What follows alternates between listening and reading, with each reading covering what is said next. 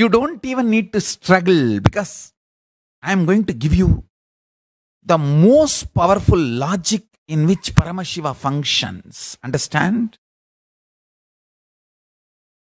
Please, all of you understand this one point. We always think we are too smart. Just by coming to conclusion, we can execute the conclusion. Whenever I try to speak elaborately about vegetarian lifestyle or compassion, people try to intervene and say, ah, Swamiji, what do you want to say? You mean I should be vegetarian, I should drop non-veg, that's all, na? Okay.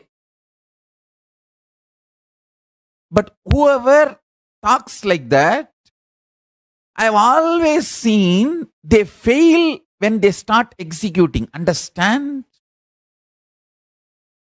Listen very carefully.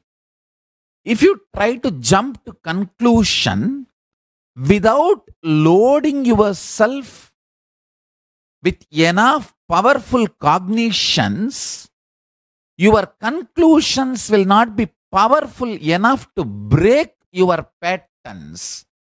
So when you struggle, when your conclusions are not powerful enough to break your patterns, when you struggle, when your conclusions become powerless, you enter into frustration and your anger turns towards Guru and the whole system, science.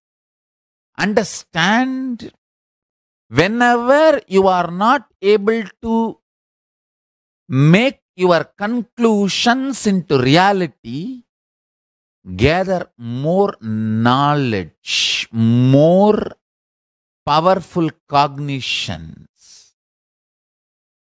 The higher logic with which the powerful cognitions can be realized in your system, can become reality in your system. Gather them, understand?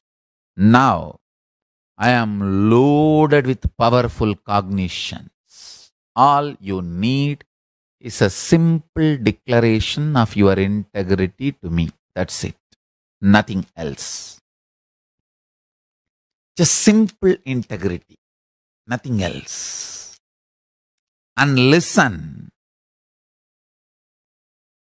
These powerful cognitions, when they fill you more and more, they will make your conclusions powerful enough to break the patterns. Jumping to conclusions without gathering enough powerful cognitions is the reason you fail to execute your conclusions. You fail to manifest your conclusions as reality in your life.